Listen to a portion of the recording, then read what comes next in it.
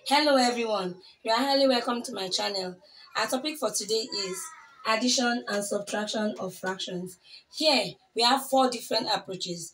The first approach is when we have the same number as our denominators. What do we do? When we have this both num uh, same number as our denominators, what you do is pick one of the numbers as your LCM, add the numerators or subtract the numerators depending on the question.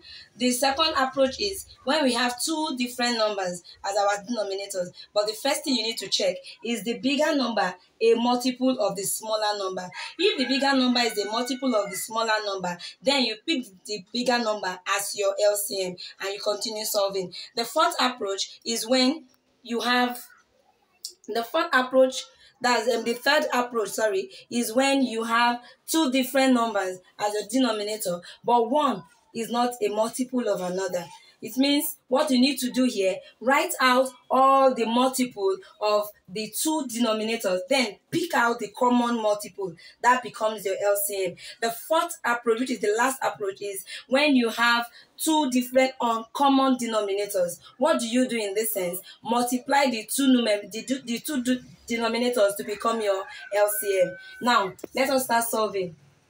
The first one, here we have same denominator. So we pick 1, 6 and 6. So we pick 1.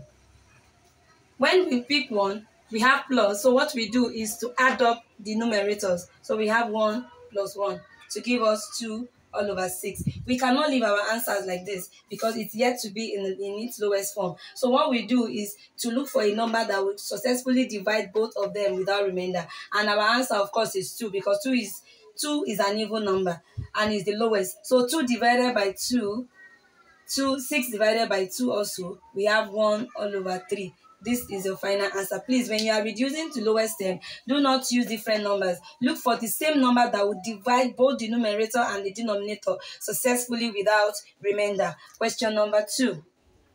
Here, we have two different denominators. Now, check. Is 12 a multiple of 3? How do you know that? When you recite three multiplication table, do we have 12 there? Yes. 3 times 12, 3 times 4 gives us 12. That means 12 is our LCM. So we choose 12 here, pick 12 as our LCM. How many 3 can we have in 12? 3 times what will give us 12? 4. 4 times 2 will give you 8. Minus. Minus 12 into 12. That means 12 times what will give you 12? 1. 1 times 1, 1. It will give us 8 minus 1, we have 7 all over 12. We cannot reduce more than this because 12 is not a multiple of 7. That's the final answer.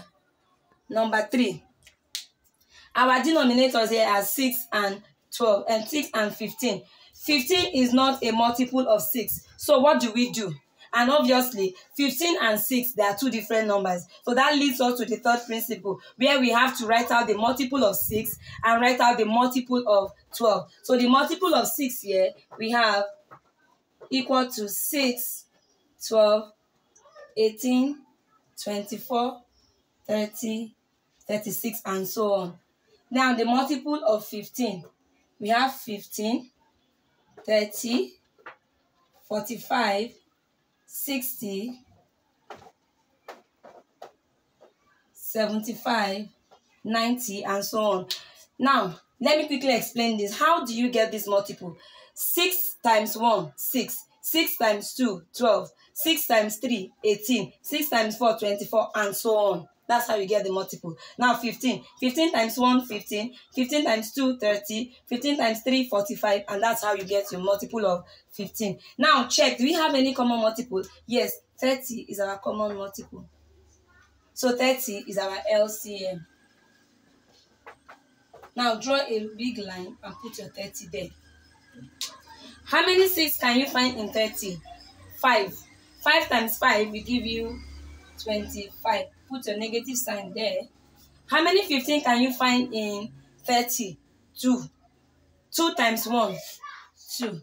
So your answer will be equal to 25 minus 2. We have 23 all over 30. And this cannot be reduced anymore. Now, we have we have solved questions on the first three principles. Now, let's get to the fourth principle. Question number four. We have 2a and b. They are both uncommon, uh, uncommon denominators. There is nothing common here. So what do we do? Multiply the both the two denominators to give you your LCM. So your LCM will be equal to 2a multiplied by b, which is equal to 2ab. Now draw your line with 2ab. Now, 2a into 2ab. 2a we cancel out 2a, leaving out b. So b times 3. Put it in brackets. Plus. How many b? And um, b in 2ab. b we cancel out b, leaving out 2a. 2a times 4.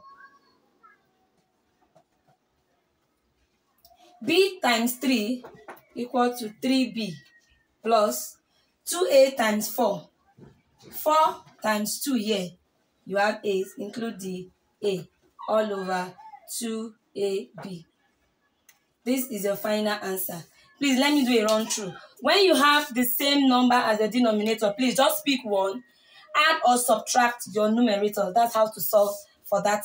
That's how to solve using the first principle. Now, when you have two different numbers as your denominator, check, is the bigger one a multiple of the smaller one? If yes, then pick the bigger one as your LCM. Continue solving. When you have two different numbers as, the, as your denominators, but the bigger number is not a multiple of a smaller number. What do you do? Write out the multiple of 6. Write out the multiple of 15. Now, pick the common one becomes your LCM. And when you have two uncommon denominators here, what do you do? Multiply the two denominators to give you your LCM. Please do not multiply.